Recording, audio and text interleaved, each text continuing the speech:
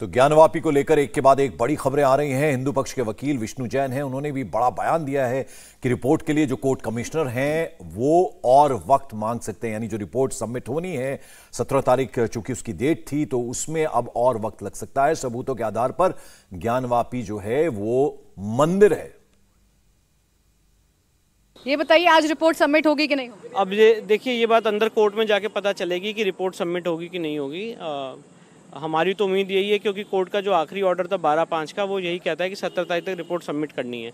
तो अभी वहाँ कोर्ट में जाएँगे, अंदर पता चलेगा कि एडवोकेट कमिश्नर साहब टाइम ले रहे हैं कि नहीं ले रहे हैं।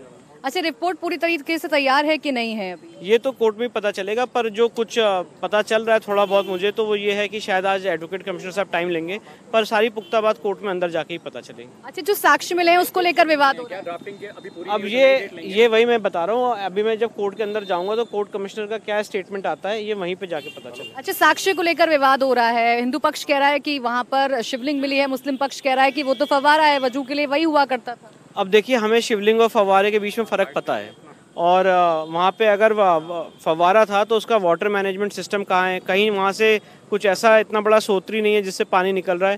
तो वो डेफिनेटली शिवलिंग था। नंदी से उसकी दूरी 83 फीट है और ठीक नंदी के ऑपोजिट है तो वो फवारा कभी भी नहीं हो सकता है। अब देखिए ये सारी बातें तो कोर्ट के सामने है। हम हिंदू पक्ष की तरफ़ से हैं तो हमारा क्लेम ये है कि वो शिवलिंग है। अब इसे कोर्ट एग्जामिन करेगी वो फवारा है कि शिवलिंग है पर हिंदू पक्ष के होने के नाते मेरा ये अधिकार है कि मैं उसको क्लेम करूँ की वो शिवलिंग है। अच्छा कितने साक्ष्य रखे जाएँगे? नहीं नहीं कोई पेटिशन नहीं पढ़ने वाली है। ऑलरेडी पेटिशन हमारी है जिसमें एविडेंस आई है। कोर्ट ने उस एविडेंस को सिक्योर किया है और कितने एविडेंस आप लोग रखेंगे? तो शिवलिंग मेन आपका एविडेंस हो गया और भी एविडेंस आपको मिले? और भी बहुत सारी एविडेंसेज हैं जो कमिश्नर साहब अपनी रिपोर्ट में देंगे। शिवलिंग की बात मैंने इसलिए रखी क्योंकि मुझे उस पर प्रोटेक्शन चाहिए था।